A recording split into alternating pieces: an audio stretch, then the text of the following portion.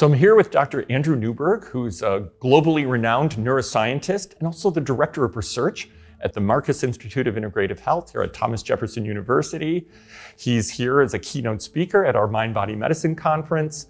Dr. Newberg, welcome. Always a pleasure to speak with you. Thanks, it's great to be here. So, one of the topics that you covered today is spirituality, meditation, and the effects on the brain. And since you're an expert on brain imaging and how the brain responds to different things, tell us a little bit about this research. Well, I think uh, the most important thing is, is that we can use brain imaging to study people while they are engaged in different spiritual practices, meditation, prayer, and so forth. And we can see the changes that are going on in the moment that they're doing a particular practice, how it's affecting them, how it's affecting their emotions, their thoughts, their feelings, and so forth.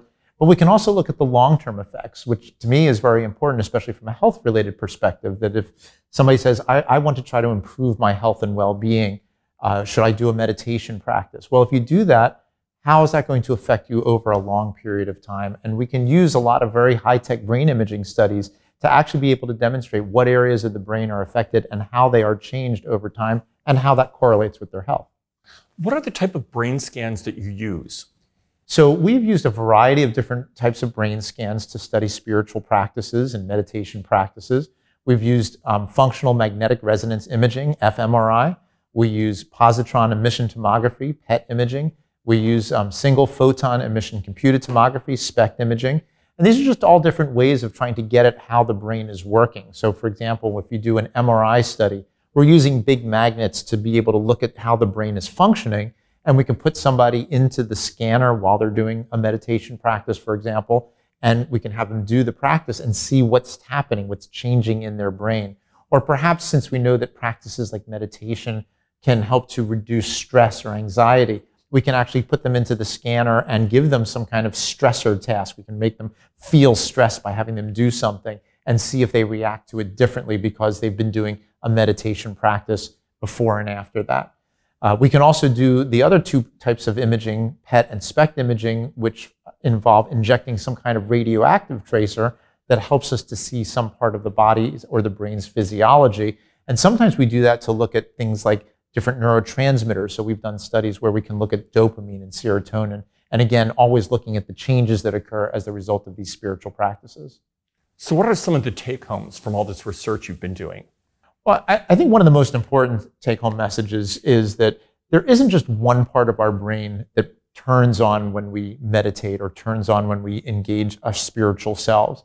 In fact, if you think about it, when, when, people are spiritual, they have different emotions, they have different thoughts, they can feel things in their body, they can sense things, they can see things.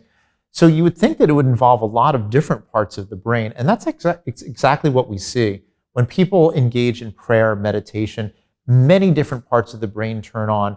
Areas like the frontal lobe that help us to concentrate, the limbic system that helps us with our emotional responses, the sensory areas.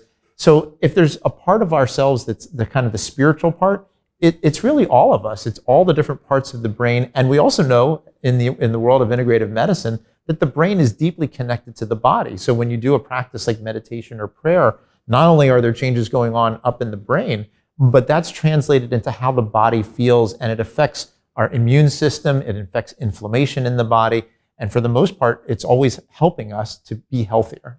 So you're able to make correlations in what you see on the brain scans to other things you're measuring in the body, other health indices, other blood markers, and things like that?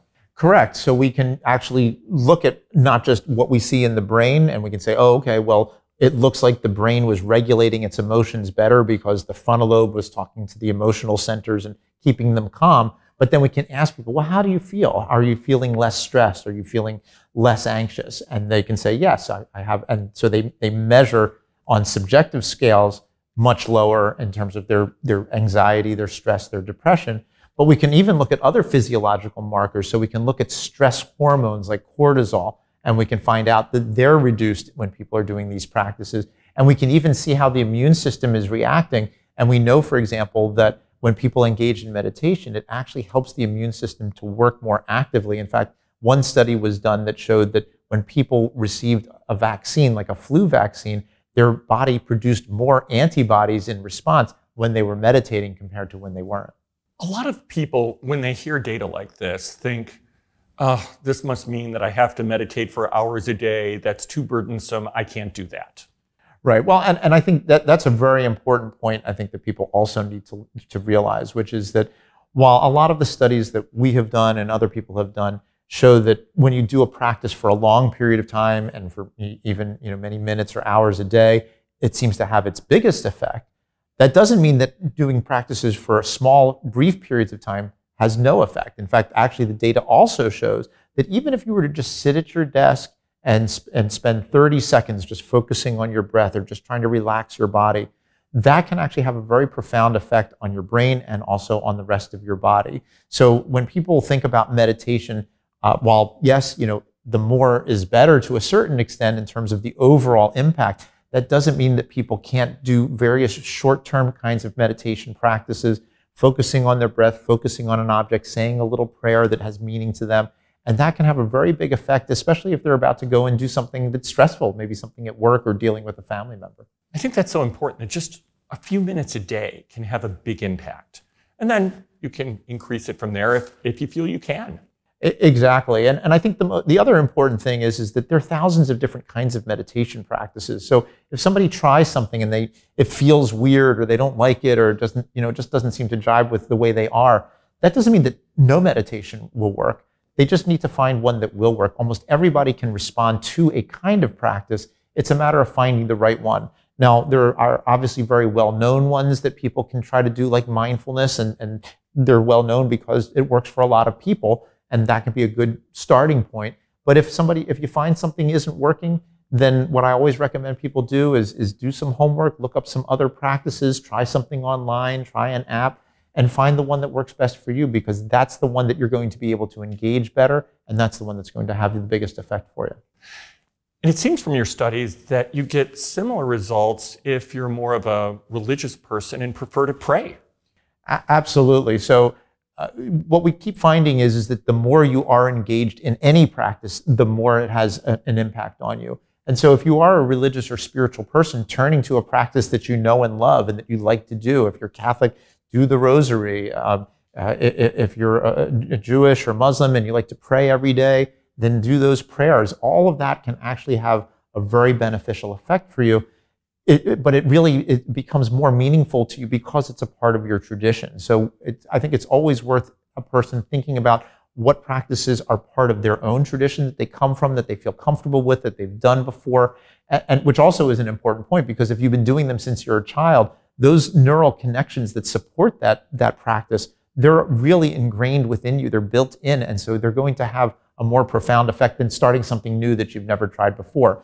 Sometimes you need to try something new because you just don't like the things that you've done before. But if you do, then it's, it's great to be able to fall back on the practices that you know and love. It reminds me of that experiment you and I did where you put me in the scanner and I listened to just a little bit of a Qigong meditation that I do and engaged in that meditation and how dramatically my brain changed from its stressed state of listening to the events of the day to just a few minutes just a few minutes made such a difference. Exactly, and, and uh, that's one of the nice things about doing the MRI studies, as you said, and we when we had you go in. I mean, it's amazing that within a couple of minutes you can see these very profound changes. If you continue to do the practice, it is something that can persist. And what we've also shown is that it does persist beyond just the time that you're doing it, and that's why when we were talking about you only have to do a practice for a few minutes, that could still last you for a half hour, an hour beyond that, even though you're only doing the practice for a short term. And I was really intrigued by some of the recent data that you've presented that in elderly populations, if people combine meditation with exercise, they get greater effects in terms of their blood vessels and everything like that than doing, say, exercise alone? Well, I, I think the most important point is that that you know, no matter how old you are, picking up a meditation practice can ultimately be beneficial, even if you're in your 70s or 80s. And uh, as you mentioned, the study that we did really showed that, that when people did meditation, and specifically when they combined meditation with exercise, it had a synergistic effect. It looks like that had a more powerful effect. And in many ways, that makes sense from an integrative medicine model because we talk about the biological, the psychological, the social, and the spiritual. So if you're engaging more than one of those parts of who you are, that's going to have that much bigger of an effect. Doing the exercise is great because it's getting more oxygen to all of your systems, it's getting your heart beating, and you're going to be more active. Lots of research has shown that that's beneficial. Meditation has been shown to be beneficial. And then when you bring them together, uh, as you mentioned, we're showing, showing changes going on in the brain, in the blood vessels, in the blood flow that's going to the brain. It really seems to have a very powerful and very positive effect for people. Well, Dr. Newberg, it's always a pleasure to talk to you. I always learn something. Well, thank you.